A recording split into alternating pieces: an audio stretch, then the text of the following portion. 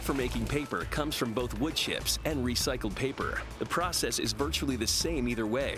It just takes more energy and enzymes to break wood chips down into pulp.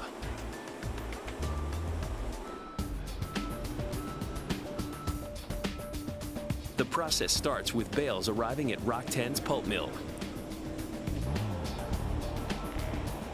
These are our corrugated bales. They weigh about 1,200 pounds. They're the old boxes that come out of grocery stores, department stores. To turn these old paper products into new ones, the bales must first stew in a cauldron called the hydropulper. This reduces them from a solid into a slurry.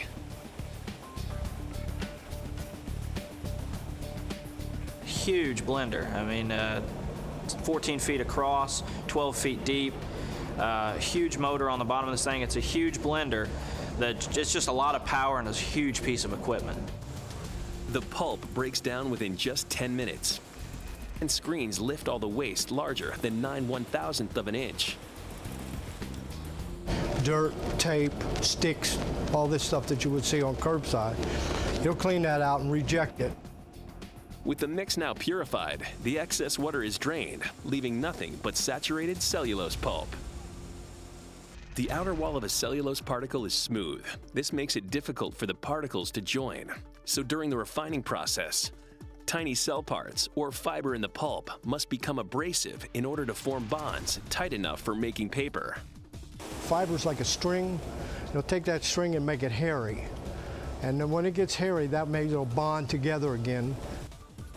That's what happens here. Rollers compress the wet slurry between two bands of industrial fabric. As this slurry sandwich moves down the line, the rollers squeeze out the water, leaving just the bonded cellulose fibers.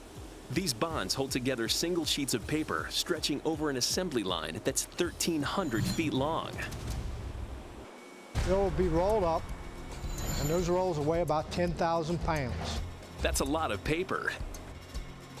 And a lot of trees and energy saved. Recycling one ton of paper, you actually save approximately 17 trees. You don't use approximately 380 gallons of oil, and you save 4,000 kilowatts of power and uh, three cubic yards of landfill space.